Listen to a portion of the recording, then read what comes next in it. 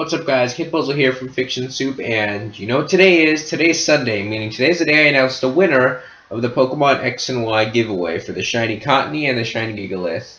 Now I want to say first things first is that the Shiny Cottonee is, can be competitive, and the Shiny Gigalith is not. So, just want to get that out of the way.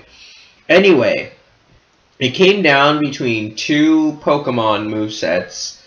Um, this moveset here and this moveset here.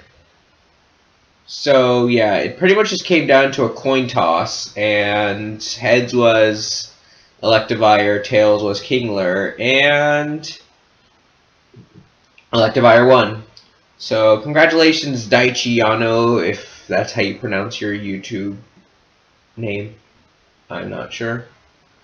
But um, you just scored yourself a shiny Cottonee and a shiny Gigalith. Now, don't fret if you didn't lose, because I'm actually going to be doing these giveaways once a week be on either Wednesday or Thursday, depending on my upload schedule and school stuff and all the other factors that factor into my life and things like that. So if you want to stay updated on that, hit the subscribe button. Or you can hit, or you can like us on, or like Fiction Soup on Facebook. I will, I do announce um when we're doing a giveaway and, well, yeah, I do announce when we do giveaways, and we have some other Let's Fun, Let's Play content and things like that. And I'm trying to do these giveaways on a regular basis, just to give a little bit, just, just to give Pokemon away. I mean, I do have a lot of Pokemon I don't use anymore that are either shiny or super competitive that I don't use anymore, so everybody likes free stuff.